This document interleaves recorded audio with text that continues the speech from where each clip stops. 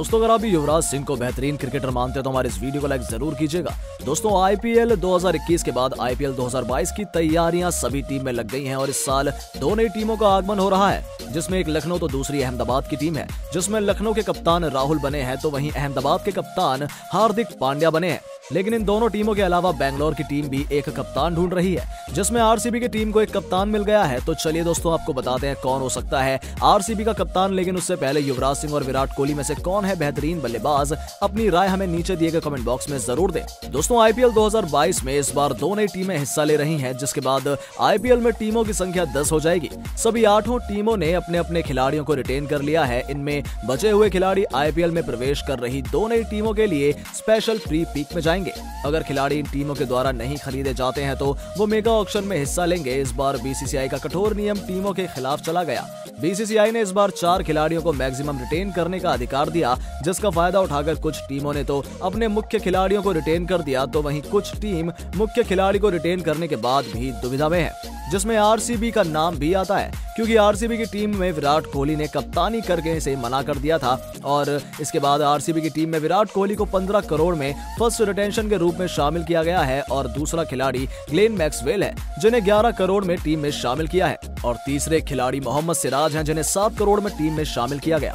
लेकिन आरसीबी की टीम के लिए समस्या है कि उनके पास कोई भी कप्तान नहीं है, क्योंकि विराट कोहली ने कप्तानी छोड़ दी है और युवराज सिंह को आरसीबी फ्रेंचाइजी अपनी टीम में शामिल कर सकती है और अपनी टीम का कप्तान भी बना सकती है, क्योंकि आरसीबी एक अनुभव वाले खिलाड़ी को ढूंढ रही है जो आरसीबी की कप्तानी भी कर सके और एबी डिविलियर्स की रिप्लेसमेंट भी बना सके। इस सीरीज़ में सबसे पहला नाम युवराज सिंह का ही है, क्योंकि युवराज सिंह बेहतरीन कप्तान भी हैं और साथ साथ तेज तर्रार बल्लेबाज भी हैं।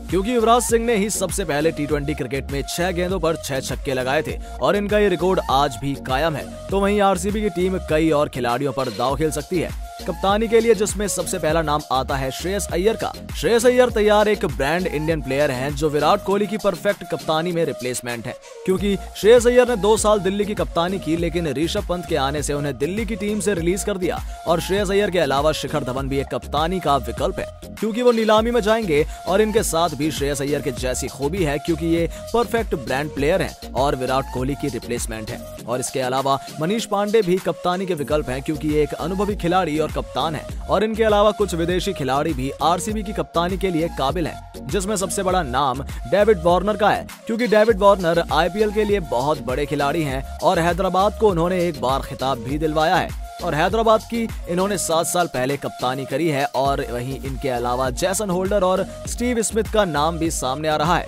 क्योंकि ये दोनों खिलाड़ी अपने अपने देश के लिए बेहतरीन कप्तानी कर चुके हैं। दोस्तों, आपको क्या लगता है आरसीबी की कप्तानी कौन सा खिलाड़ी करेगा? अपनी राय हमें नीचे दिए गए कमेंट बॉक्स में ज़रूर दें और ऐसी शानदार खबरों के लिए हमारे चैनल को सब्सक्राइब करना ना भूलें। धन्यवाद।